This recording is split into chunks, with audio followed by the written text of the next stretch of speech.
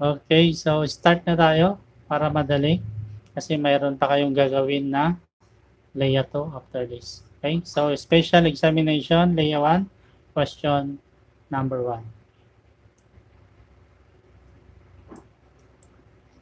The PNP support unit that is primar primarily responsible in enforcing the anti-carnapping law of the country. Letter A, Highway Patrol Group. Letter B, Special Action Force. Letter C, Criminal Investigation and Detection Group. Or letter D, Intelligence Group.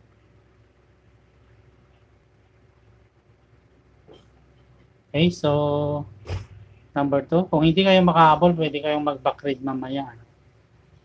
He chooses the PNP Provincial Director in the province from a list of three eligible recommended by the Regional Director. Letter A, Governor.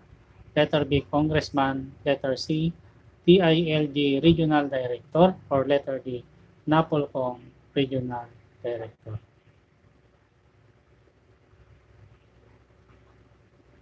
Number three, the Philippine National Police, as described by the 1986 Philippine Constitution, should be, letter A, directorial type, Letter B, operationally under the DILG. Letter C, line and staff organization. Letter D, national in scope and civilian in character. Next, number four. General policing in the Philippines is the primary task of what agency? Letter A, National Bureau of Investigation. Letter B, Philippine National Police, letter C, National Police Commission, or letter D, Armed Forces of the Philippines.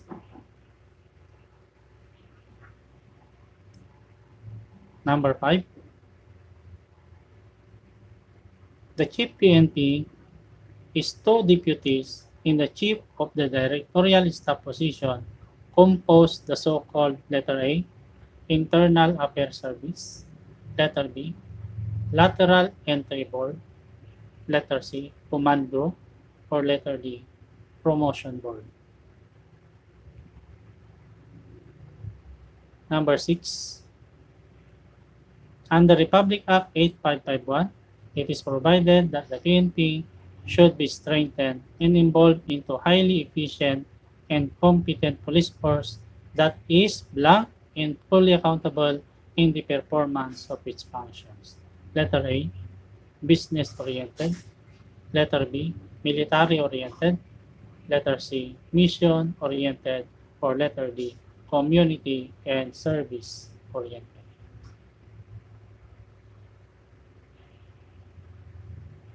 Number seven. What operational support unit of the PNP conducts investigation and evaluation of physical evidence related to crimes? With emphasis on their medical, chemical, biological, and physical nature. Letter A, Health Service. Letter B, Crime Laboratory. Letter C, PNP General Hospital. Or letter D, CIDD. Next, number 8. The National Police Commission is attached to the Department of the Interior and Local Government or letter A, Administrative Control, letter B, Operational Supervision, letter C, Administration and Control, and letter D, Policy and Program Coordination. Kung, mis- kung masyado tayong mabilis, okay lang, paki-back read na lang pagkatapos nito. Okay? Number nine, as an external disciplinary authority in the PNP, the People's Law Enforcement Board are empowered to investigate and decide citizens' complaint against PNP members. It was established by virtue of Republic Act, letter A, 6975. Letter B, Republic Act 8115. Letter C, Republic Act 8551 or letter D, PD 705. Okay? Number 10. What is the national police force of the Philippines? Letter A, AFP. Letter B, PNP. Letter C, NBI. Or letter D, PSD.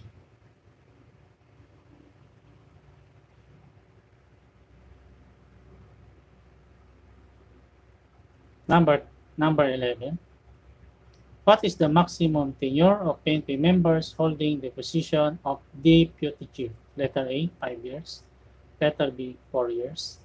Letter C, 3 years. Or letter D, 2 years.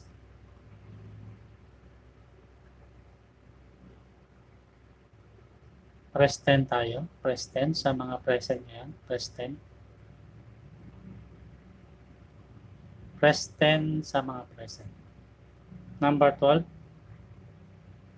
Where is the area of operation of Central Police District? Letter A, Quezon City. Letter B, Metro Manila o Manila. Letter C, Makati. Or letter D, Mandaluyong. Press 10.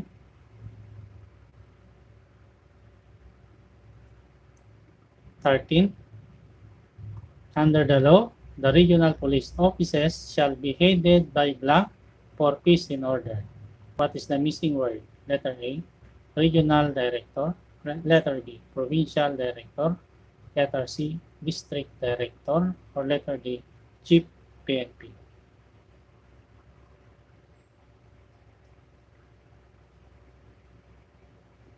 Number 14. Under the law, the PNP shall be headed by a chief who shall be assisted by two deputy chief, one for operation and what is the other one? Letter A, one for management. Letter B, one for directorial staff. Letter C, one for organizations. Or letter D, one for administration.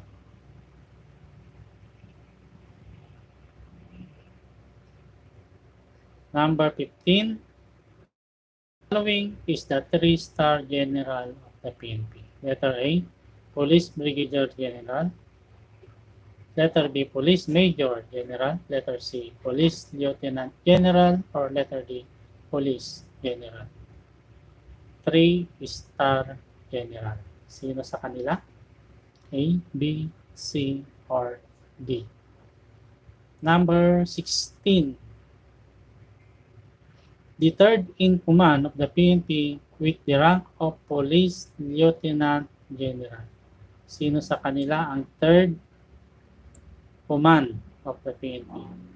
Ang first command talaga yung Chief PNP. Meron yung pangalawa, sino yung pangatlo? Letter A, Deputy Chief for the PNP for Operations. Letter B, Deputy Chief of the PNP for Administration. Letter C, Chief of the Directorial Staff Position. Or letter D, Chief of the PNP.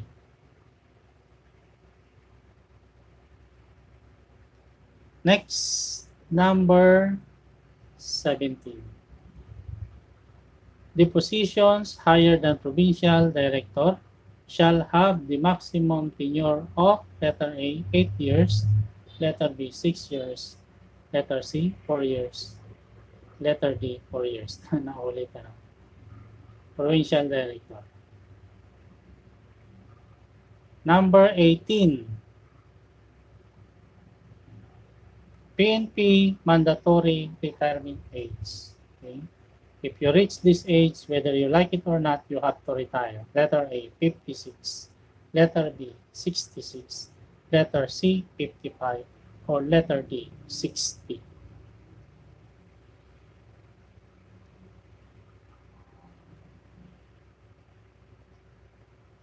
Number 19. There are how many police districts in the National Capital Regional Police Office? A, 3, B, 5, C, 4, or letter D, 6.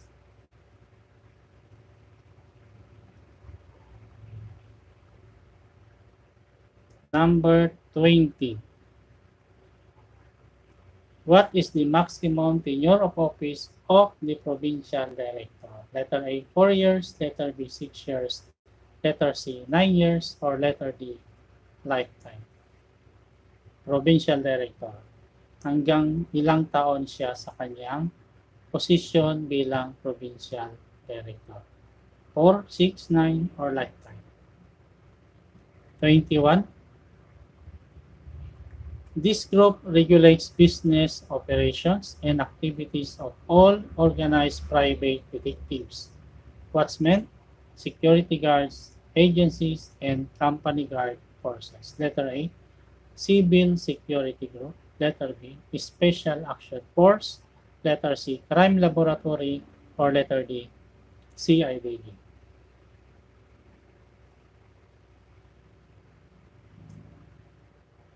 Next, 22. Who is the appointing authority for the position of Chief PNP? A. Congress. B. President. C. Supreme Court. Or letter D. Elected by the people.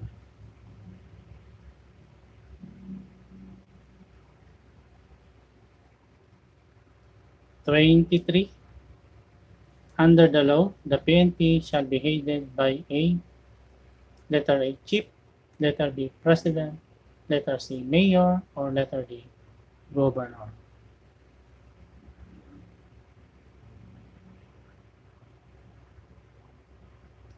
Next number, para mabilis tayo. The law that established the Philippine National Police under a reorganized Department of the Interior and Local Government. Letter A, RA 6975. Letter B, RA 8551. Letter C, RA 6995. Or letter D, RA 8515. Okay, so last number na. This group provides security to all airports throughout the country. Letter A, Aviation Security Group. Letter B, Special Action Force. Letter C, Police Security Protection Group. Or letter D, Intelligence Group. Okay, so yan na nga. Natapos na natin ang ating special self-evaluation sa subject na Leia 1. So, good luck sa inyo.